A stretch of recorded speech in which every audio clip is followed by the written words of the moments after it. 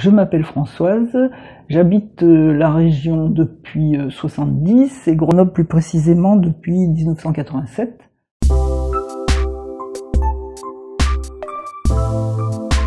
J'ai décidé de m'impliquer un petit peu dans ces, bureaux de vote pour aider euh, aux élections parce qu'en fait, toute jeune, en cinquième, nous avions une super professeure, je vais d'ailleurs dire son nom, ça me fait plaisir, Madame Godbarge, qui était du Parti communiste français. Ça se trahissait pas dans ses propos parce que bon, il faut quand même attention dans la majorité hein, des professeurs. Elle nous avait dit, allez voir euh, le dépouillement, allez voir comment ça se passe. Donc moi, 12 ans, vous imaginez, j'étais pas grande, j'arrive dans cette mairie, c'était Albertville, c'était quand même un bâtiment assez assez euh, spacieux avec des grands escaliers. J'allais dans toutes les salles, il y avait une effervescence fantastique. Alors, qui se présentait J'en sais rien, je me souviens plus du tout. Mais c'était ces petites enveloppes. en fait, on voyait euh, la vie euh, politique, quoi, la vie citoyenne, quoi, à l'œuvre, quoi. C'était vraiment très très bien. Bon, j'étais toute seule, on n'a pas été si nombreux que ça, mais j'ai senti qu'on participait à quelque chose, quoi. Je pense que les gens ils sont peut-être pas au courant que tout le monde peut le faire. Hein, parce qu'en fait, tu as un président qui arrive, qui explique, qui redonne les règles à chaque fois, c'est très précis, très codifié.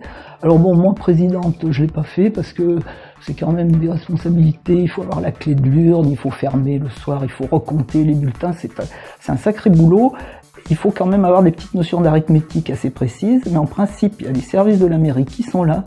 Et moi, toutes les élections euh, auxquelles j'ai participé, c'était vraiment des gens. Alors, ils ne sont pas volontaires parce qu'évidemment, ils sont payés pour faire ce job, mais ils sont vraiment très très au point. Et il y a une très bonne ambiance.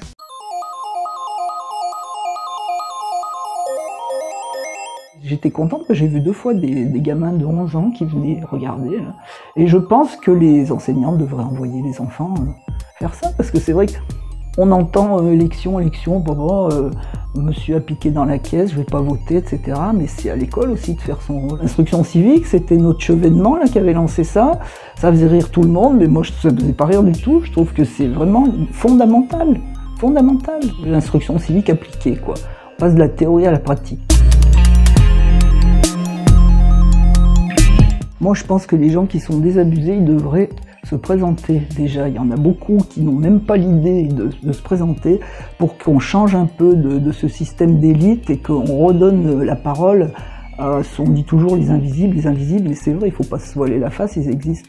Et en fait, savoir parler, euh, il n'y a pas que ça, on peut aussi euh, juger un candidat sur la vie qu'il a, sur ses engagements, et ça peut toujours s'apprendre, hein, des cours d'élocution, c'est pas très compliqué. Trouve ça génial parce qu'on voit toute la population. Alors ça, c'est... Moi, je trouve que c'est extra. On rencontre tout le monde, du, boucher au PDG. Par contre, il y a aussi les, élus qui se déplacent pour faire leur petit tour, normalement. Et ça, c'est aussi euh, mon avis. Moi, j'aime bien parce que je vois ceux qui parlent à tout le monde, ceux qui ne parlent que à ceux du dessus du panier.